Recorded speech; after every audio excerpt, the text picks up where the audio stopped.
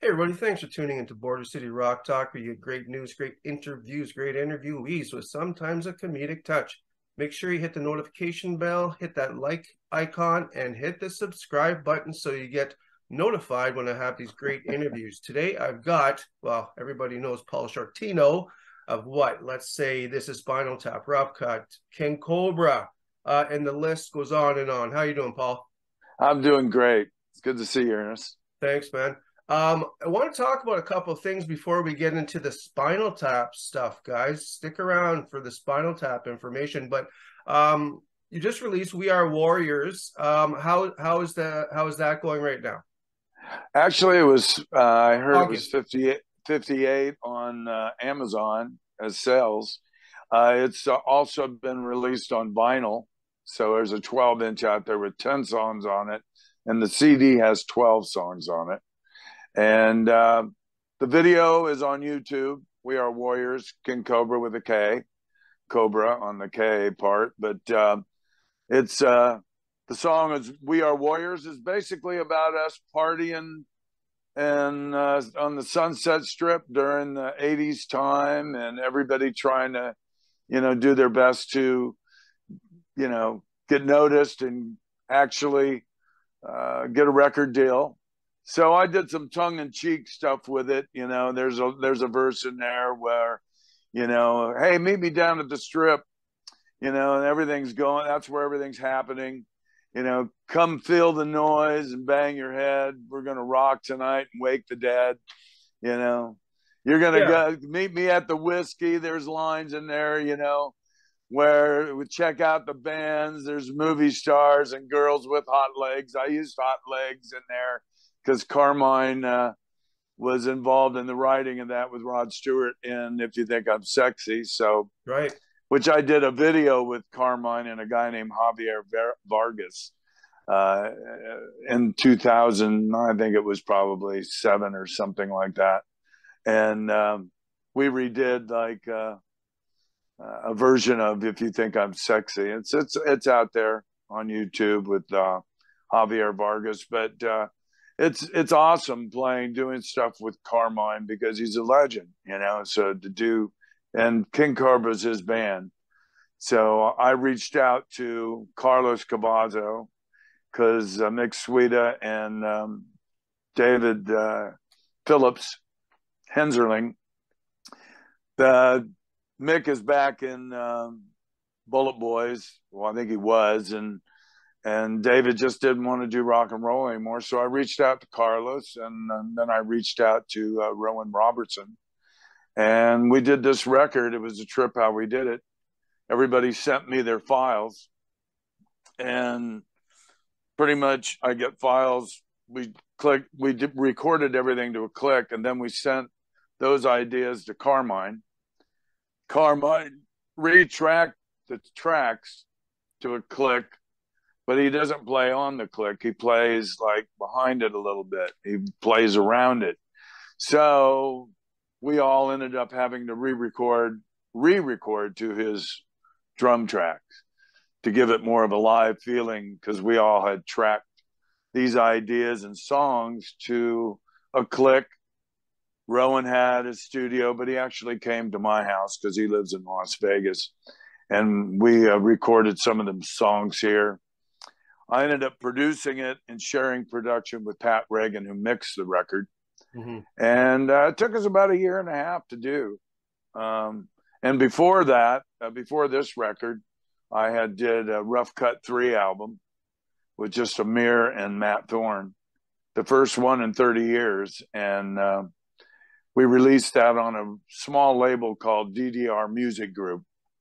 And people can go to ddrmusicgroup.com and and check out some of the products that they have there. Also released uh, two other albums during COVID. Uh, one with uh, Tracy G from Dio, the right, guitar right. player, and that record is kind of like uh, we did a remake of "You Don't Have to Say You Love Me Just Because of the Trans," you know, uh, the Dusty mm-hmm. Springfield thing. But he played the guitar, so it's the album's kind of like Gary Moore meets Zeppelin. Oh, It's some really cool stuff with a little bit of Black Sabbath vibe in there. Uh, that record was that was a lot of fun to do uh, with him during COVID, and then um, I found some tracks for Bad Boys in the right. same label, uh, DDR Music uh, Group. Said, "Hey, uh, do you have any other stuff we can release? Uh, why, uh, while we're releasing these other tracks, these other songs?" So those those CDs are available uh, from that company. Some really good stuff. It was I'll put uh, some uh, links below for that, Paul. And uh, is it fair to say you're the busiest cat during COVID?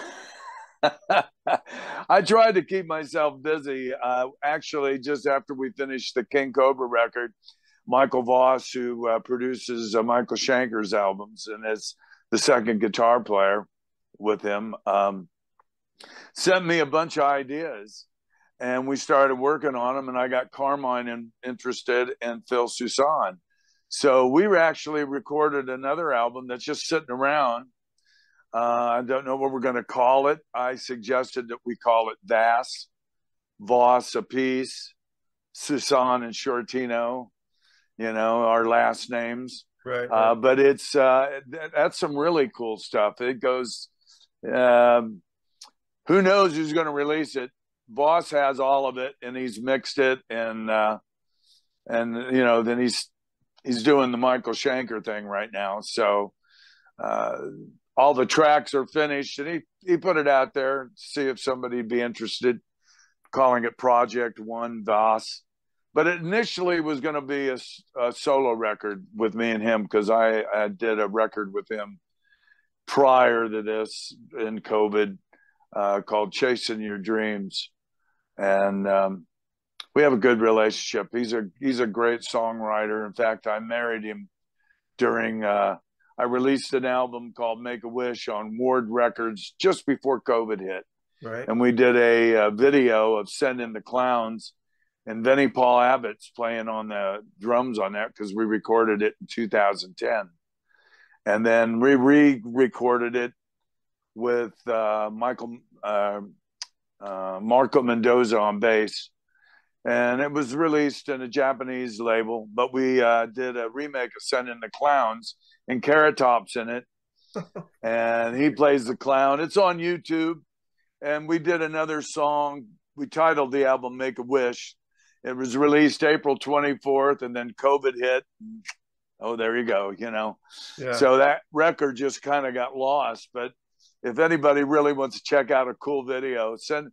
We had the lighting people that do all the Cirque stuff, and we we, we videoed this with Cirque Cirque Soleil lighting, and uh, Gary Arona, who's done a lot of horror films and stuff for HBO and and Cinemax. His wife Tabitha Stevens uh, played a, a, female clown, and Carrot Top played. It's it's an amazing video there's just very there's some uh, still shots of Vinnie Paul playing the drums, mm-hmm. and it's uh, we actually put at the end of the video uh, in memory of Vinnie Paul. Yeah, because we had recorded this and we were trying to do a thing like the Rockers did with Sam Kinison right. sending the clowns. Yeah. So we started sending the clowns like Frank Sinatra. Isn't it rich? Are we a pair with the orchestra? And then he goes, ah, and Vinnie Paul goes, I got the opening drum fill. And I'm going, yeah, well, what about the bridge and the rest of the song? He says, well, I got the opening drum fill. So we actually, when we cut this song with Ira Black and a guy, a bass player, he was just a kid, a 19 year old Tyler uh, Burgess. We uh, cut it at uh, studio here in Las Vegas, and we cut it in sections. And Vinnie Paul showed up late, uh, w- dressed up like a clown, and all, and brought all of his posse with him.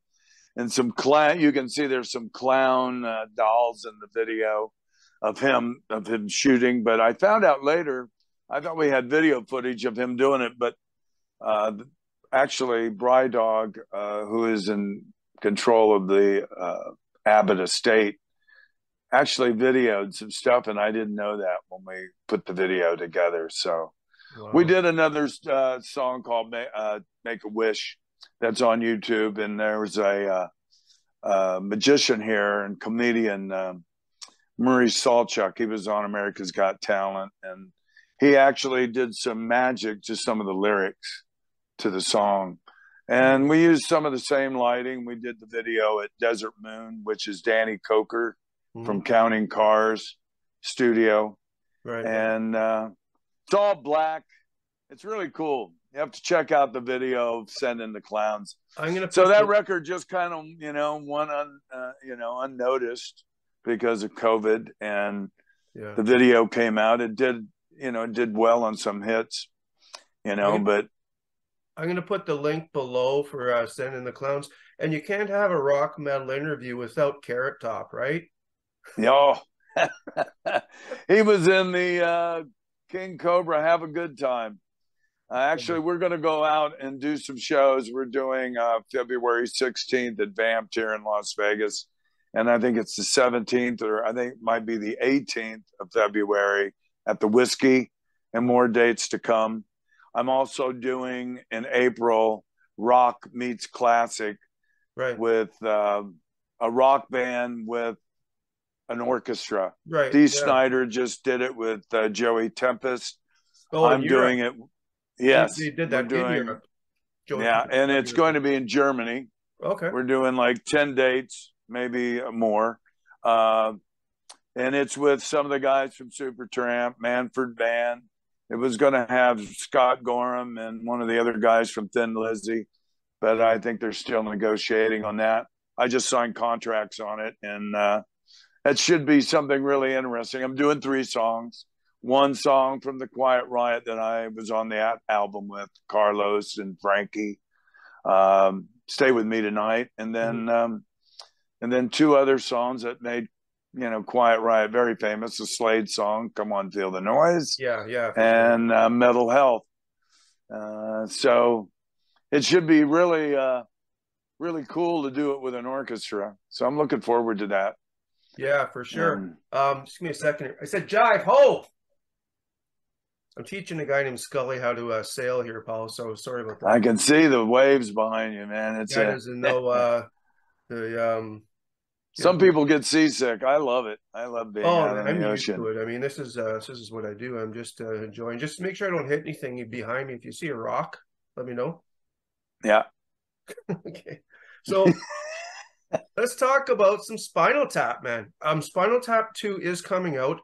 I originally saw something um social media, and I thought, okay, maybe not. I could I couldn't find anything, but it, it is fact. Spinal Two is coming back out with yeah Christopher Guest, uh, Michael McKean, and, and and our good friend Harry Shearer, which you were also in that movie as Duke Fame. Um, the premise, from what I understand, is kind of like the way things kind of can get when you get big and famous as Spinal Tap did.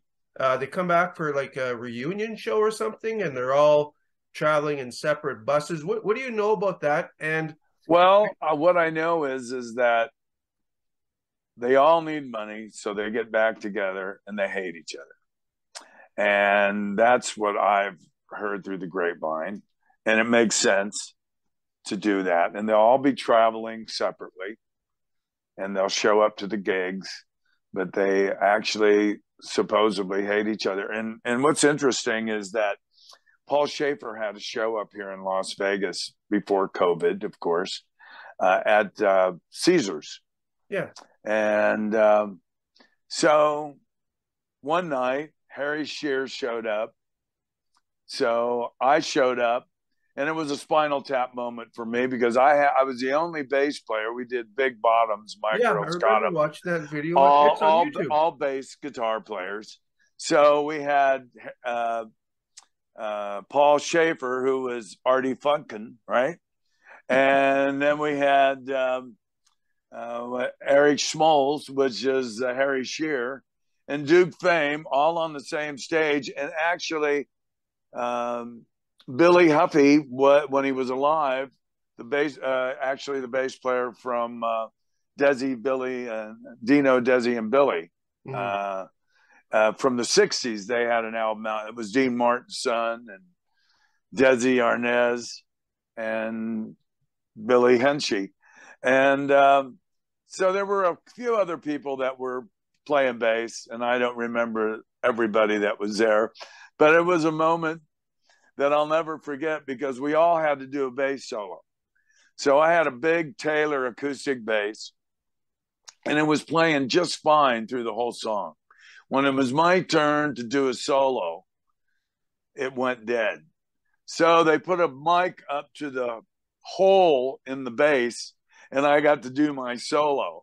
So I was on this big freaking bodied bass, you know, like a mariachi almost. You know, the bass was so large, but they had to put a mic up to it. And I go, wow, this is a Spinal Tap moment, and it's been that way ever since I've been in the movie. When we were out on the road, rough cutt and warming up for Krokus and Accept, mm-hmm. when the movie just first came out, we couldn't get a line check. And that's when the movie was in all of the Holiday Inns and all the Howard Johnsons and on people's tour buses when the movie first came out. Lo and behold, the the road manager from Krokus, who was headlining, said, "Hey, are you Duke Fame?" And I went, uh, "Yeah, I'm Duke Fame." And Spinal Tap, yeah. And so he says, "Well, the guys in the band want to meet you." So I went down and I got to meet uh, Storace and and everybody in the band. And uh, actually, through the years, I kind of stayed friends with the drummer who was in the band at the time. Mm-hmm. And um, but it was kind of cool. And then from then, we from that point on, we actually got a line check. Even you know, it wasn't much of much room on a stage because. Uh, when you've got three bands and you got a line check, you are right up on the monitors. So you really don't have monitors. they're either so low you can't hear them or they're shooting so far over your head because you're right on them right. you know and then you move your shit in the next band and then krokus and stuff never was touched and accept and then we went out with accept later but um, that movie is actually i've uh, i ran into uh, REO Speedwagon at the airport and I was picking up the DOs with the limo driver just to help with the luggage. and uh, the road manager from REO said, Are you Duke Fame? And I said, Yeah. He says, Well, Kevin and the guys want to meet you. and I've known Dave Amato for over 20 some years, but this is this was actually before Dave Amato was in the band. It was the, uh, first guitar player. Right. And it was kind of cool, just, you know, that it, that, uh, you know, such a small part. You know, I I got the part by showing up with the white leather. That was my outfit, and um, they ran an ad in the paper. And casting came to the Troubadour to see us and invited me, Jake Williams, who was in the band, Rough Cut at the time, and the drummer Dave Alford. And I showed up first. I think it was uh, a Denny's on Lankershim and Sherman Way. Yeah, and I think, uh, you told me that before. Yeah, I think that I think it was or Norms, one of those, and uh, you know they went, "Well, this is Duke Fame. He's he's dressed for the part. We don't even have to dress him." You so, think you got uh, recognized you know, more as Duke Fame because that movie is so friggin' iconic. I've watched it about fifty times. Everybody, uh, I, I do get, it. You know, people come up to me on that. You know, I get I get the Paul Stanley all the time uh, it's funny, me and Robin McAuley, when we were working together and raiding the Rock Vault, he would get Alice Cooper and uh, and uh, Howard Stern, and I, I, I got Howard Stern a couple times. Gene Simmons.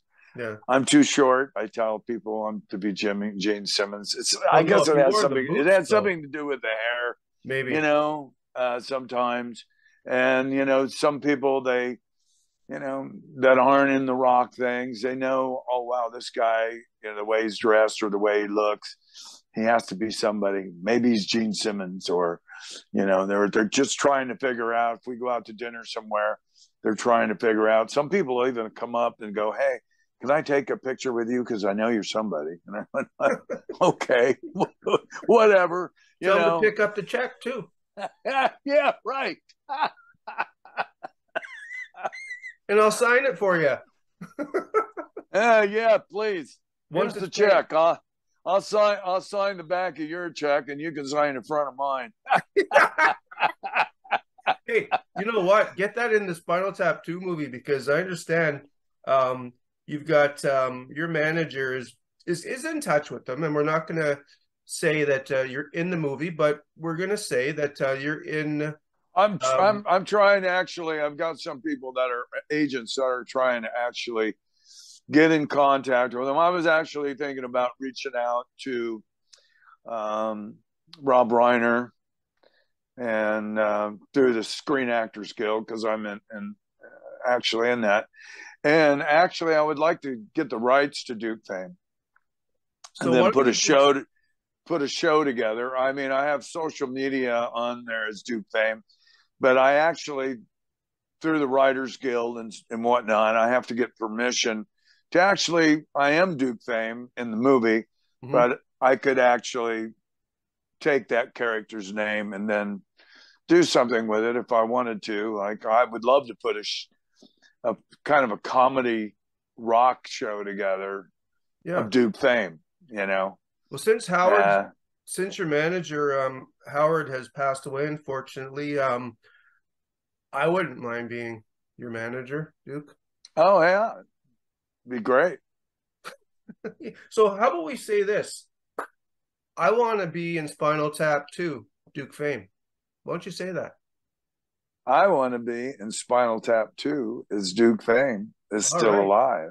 All right. Hey, this is how. Hey, this is how people notice things. And I know that you're friends with uh, Harry and all those people, but I mean, you just can't uh, demand. But you were an integral part of that. I remember that movie, and I haven't seen it uh, for I don't know six or seven months but you walked in. You know, it's such a small part, but people, you know, for some reason, you know, remember I had said a few more lines, but uh, it was interesting because I had been on the Gong Show. I had a record out in 1972, and it was with Mickey Dolenz's sister, and it was called "Follow Me," and it was on Bell Records. Snuff Garrett, who produced Liza Minnelli and Sonny and Cher and Fats Domino. He's he produced a whole lot of different people. And um, anyways, the record was 22 with a bullet, and it was released in 1972. And um, I was doing an interview with uh, with a guy, and he said, "I I have your record. I have," and I never speak of that record, uh, you know, because it was so long ago. But um, you know, it uh, was a trip doing that when I was 17 years old. And I don't know where I'm going with this, but uh, I think it had something like to relate to Spinal Tap.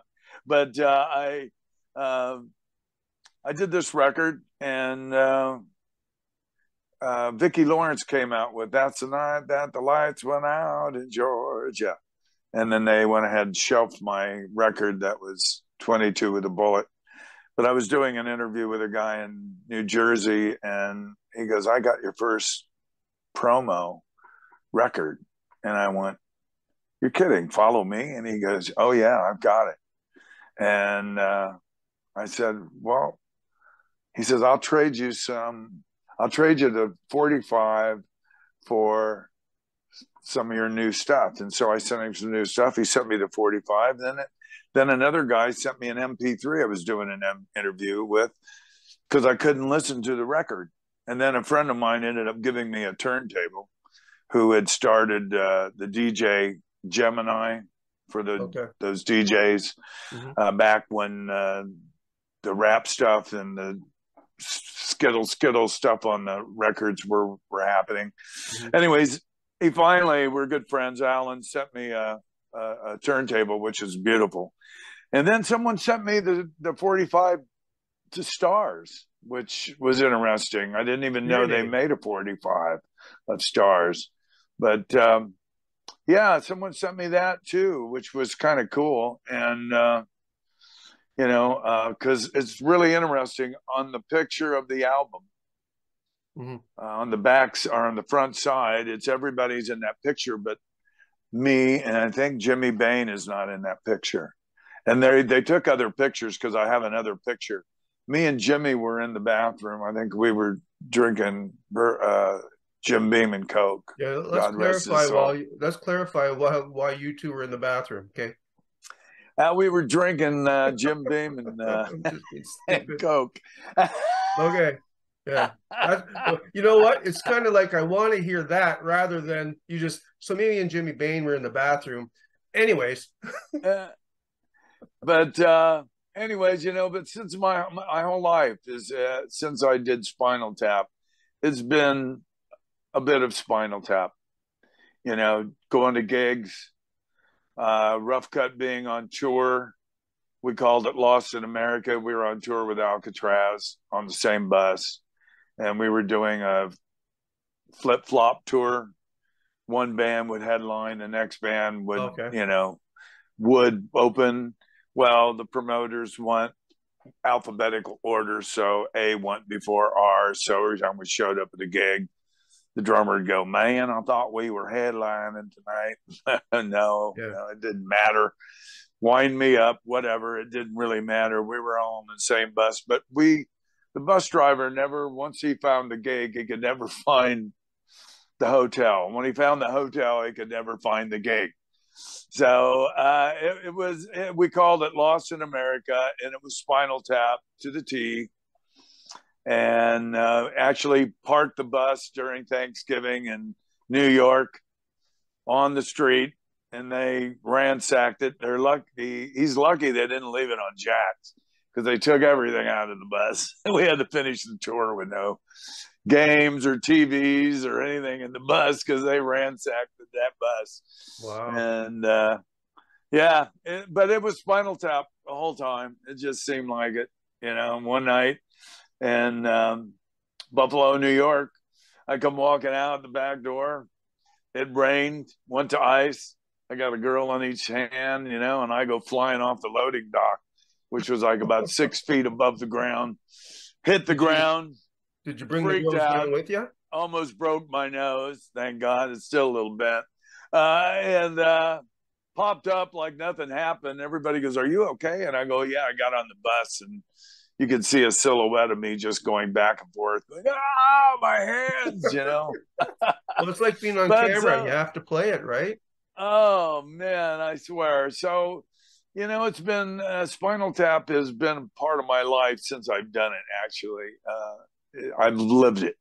I think every, to some extent, I think every rock musician has experienced Spinal Tap. I think that's why it's that's why it's such an iconic part of rock and roll.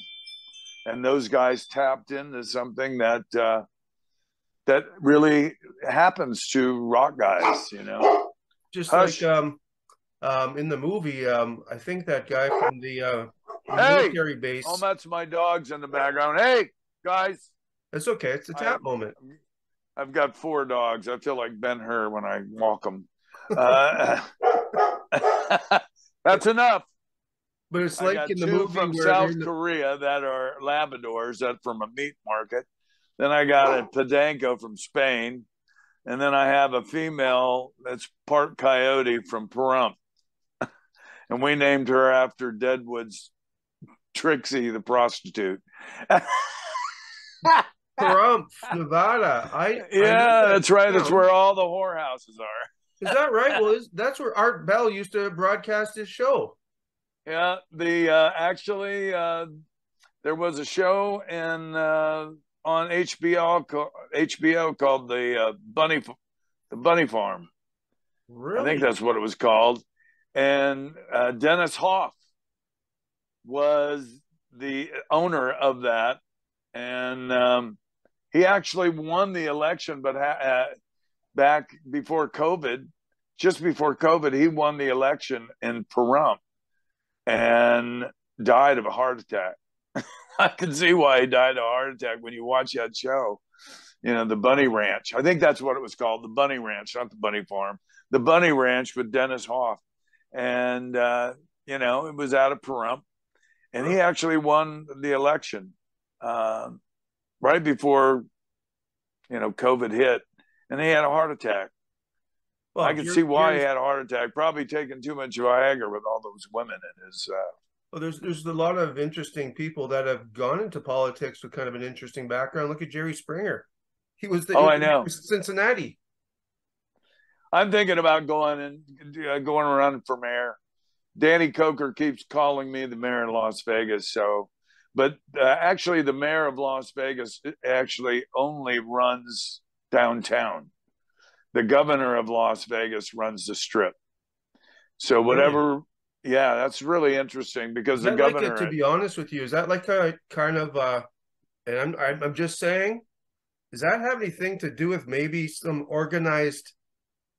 Because that's an interesting um, way. Well, it's it, it's it's it's political. It's politically organized. It's not yeah. uh, mob organized. The mob still probably uh, own all of the uh, trash, yeah, like they do in New York. You know, um, the people that pick up your trash. I think that the mob still are involved in in them. Actually, I think the city was better off when the mob owned it than than it went to public, and it's now it's corporate because corporate yeah. really doesn't care about people. So you know, they don't. They, they, look at numbers, and that's all they care about. And when the mob went, ran this town, they, it was all about entertainment. My mm-hmm. wife's grandfather was an architect for Ben Siegel when he did the Flamingo. So her family's been here since 1944, and um, you know they they he did the uh, the Mint, which is now Binion's. He did a lot of schools here, uh, banks. Uh, he did a lot of he did a lot of stuff. He was uh, uh, an architect that they brought in from Pasadena because they needed a legitimate architect when they were putting up the Flamingo. Bugsy, you know, and actually they uh, all had dinner the night that they took Bugsy to McCarran Airport, and he flew to California, and that's the night the mob uh, uh, took him out. So uh, they had dinner with Virginia Hill and um, Bugsy, and dropped him off at McCarran. And um, so you're, you're it's a shame that they don't they don't keep they tore down his penthouse. Uh, it's a shame that they don't keep some of the history here. Mm-hmm. We have the neon uh, graveyard, which is a graveyard of all the neons that were in Vegas at one time. But uh, it's a shame that they don't keep a little bit of the history um, wow. of how this city was built, and mm-hmm. you know it's it's growing like crazy now with the sphere. Yeah. Uh, anybody that performs inside the uh, the sphere, they'll be able to see it on the outside. Uh, flying into Las Vegas, who knows what you'll be looking at? You might be looking at the planet, or you might be looking at the guys on the put the flag on the moon, and uh, or anything. It's it's amazing. It's a, it's a, actually the sphere is set up to where if they have a convention, there are sections of the speakers are in this uh, are are in the seats. So no matter where you sit in that auditorium, U2 is supposed to open it. You'll be able to hear the band perfectly, like a record, in in your in your seat. And for conventions, people will be able to have translation. So if they're speaking in English and someone's from Germany in a certain section, mm-hmm. they'll be able to understand it translated to them in German wow. or Japanese. It's pretty pretty in, impressive uh, what they've uh, done with this. I guess Madison Square Garden from New York is involved with these this investment on this. What, but I believe they're going to put uh, one in the UK. When is it supposed to open? Uh, it's going to open soon this year. They worked all the way through COVID, of course, and so um, U2 built it. so, YouTube. so U2 is going. U2 is going to open the sh- open it. Wow. They're actually uh, testing it right now, doing things. There, you can go on YouTube and look up the Sphere in Las Vegas and see some of the things that they're you know, like the other night they were having spiral things going around on it, green, you know. Mm-hmm. It can be very uh you know, distracting uh yeah. with the stuff. Like you could be flying in and you could see the earth, you know, from the plane.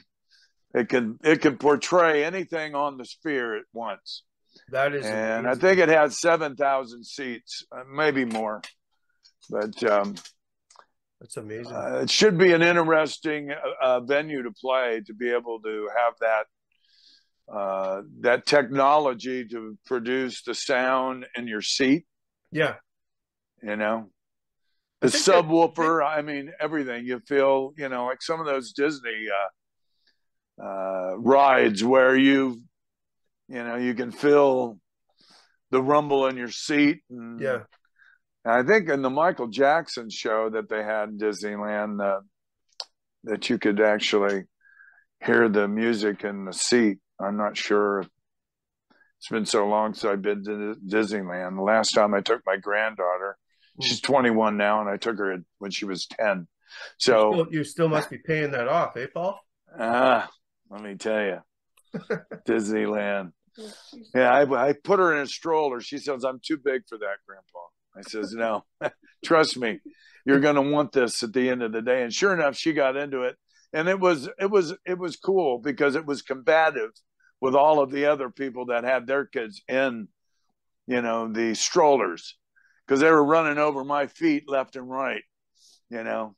So is so, there like a uh, discount if you got uh, somebody in a stroller? So you could theoretically put a 21 year old in a stroller and save five grand on entry. Well, no, you have to you have to go with the uh, someone that large. You'll have to go with the uh, wheelchair. You know, you'll have to go in there and say you have an issue with. But what's great about it is, is the wheelchair thing is you get right at the front of the line. They put you on the ride right away. Hey, a so. deal's a deal, right? It's like Bobby Kimball used to say, you know, I need to be wheeled up to the plane. You know what? and, you know and I took that from him too. I've actually, uh, one time, uh, we did a show in, uh, I think it was Cancun, and I decided uh, I wanted to do the wheelchair thing, right? It was after Bobby told me he did it, and I so they stick me in line, and I'm in I'm in the tail end of World War II, Korean War, Vietnam War, and there's this rock guy that's uh, that could have went to Vietnam. My draft card was 360, so I had friends going to Nam, and I I didn't have to go. I've got friends that got uh, Agent Orange and mesothelioma, and that I went to school with, and you know, God just didn't want me to go to Vietnam. And, and I even got to a point where I was thinking about enlisting. And well, you thank God I didn't because I wouldn't be maybe here or I wouldn't even be the person I am. I think God put me here for a different reason. Right. And uh, I'm actually looking forward to doing like a gospel record. Um, nice. Elvis did one, was probably his largest uh, selling record ever when he did mm-hmm. it. do some old gospel, but do some really new stuff that's out there. I've uh, I, I, was turned on to this song, the the goodness of God, which is really cool.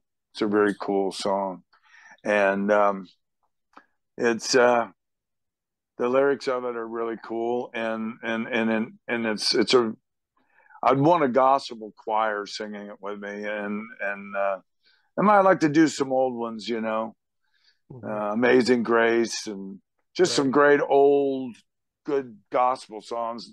Some some of the ones that Elvis did. Yeah. I just think it would be it's good for your spirit to be grounded right. spiritually. You know, yeah. seems like we've lost our way when it comes to that.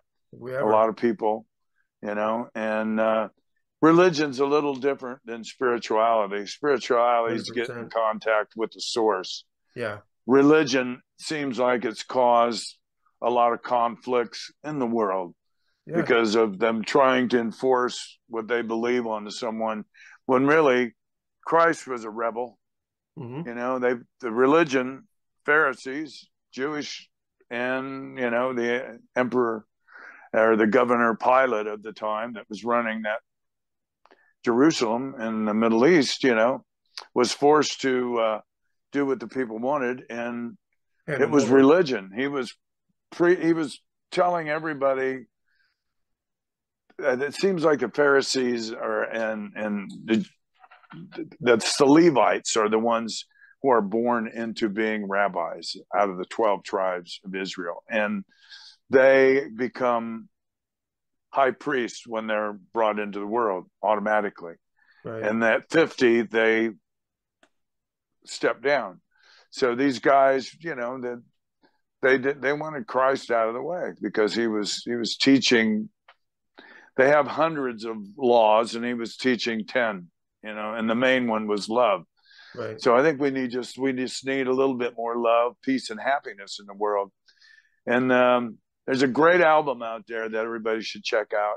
It's the Chambers Brothers live at the Fillmore East, and it's called Love, Peace, and Happiness. And they do a song called Love, Peace, and Happiness. It's about eight minutes long. It was only recorded live at the Fillmore East. They never did a, another version. The on that record is "People Get Ready," "Wade in the Water," Mhm. and and and "Time." That was their big hit.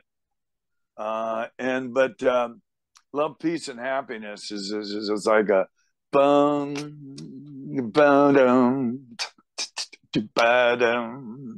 I'll try to find that. da-da. It's it's a really cool. uh, People should check it out. It's a really cool, cool track. And I just think uh, I don't know what happened, but we had a, a, a movement in the '60s and '70s that was all about love and peace and happiness, and and it seems like people have lost their way there.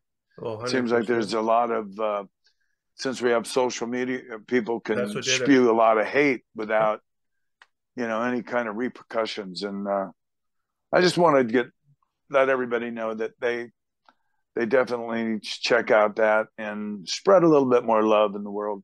Right on, right on. Um, I won't keep you much longer, um, but I do have, holy jeez, you sent me on in my mind. I'm thinking when you mentioned the wheelchair thing about uh, Disneyland, Yeah. Wouldn't this be great? And I'm hoping maybe maybe I'll get lucky and somebody watches my little idea. With the Spinal Tap movie, wouldn't it be interesting to have pictures of video of all the three guys, you know, Harry, Shearer, Christopher, uh, Michael, and they're all talking. All you can see is their upper body, and they're saying, "Yeah, you got to go in there. You got to get along. We want to make some money." And then they all do it. The next scene you see is they're all being wheelchaired in. Yeah, that would be really good. You know, and they might steal that idea. Well, You know, steal it, That, that they get wheeled up to, you know, so they can board. yeah, you and know, they're they not, they're, they're all stage. flying coach, right? They're flying coach, and they have to. They want to get on the plane first, so they can put their guitar up, up above, and their their carry on. You know, so that would be brilliant. And then, and then the big, the big production before the show starts. Everybody's waiting for them, and then they have all these. They, their nurses wheel them up to the mics. Yeah, oh no, that would be great. You Oh, know, man. that would be great. And one guy doesn't make it up, Harry Shearer, right? like he got locked in the pod. Yeah, yeah, His yeah. nurse yeah. doesn't show up, so he's wheeling himself well, up to the well, what happens is what, what I would say is the nurse keeps pushing and it doesn't work, but he's got the fucking brakes on the wheelchair. Uh, right. There you go. There you go. And they're they're waiting to come on after me at the Normo Dome. There We're playing the Normo Dome again. Dome. And yeah, and they're gonna come up and they're gonna follow me. I go out with a cane, my little cane Ramo. And uh, in fact, I got him here. I'll show you what he looks like. I perform with him. Let me get him. Yeah. This is my buddy.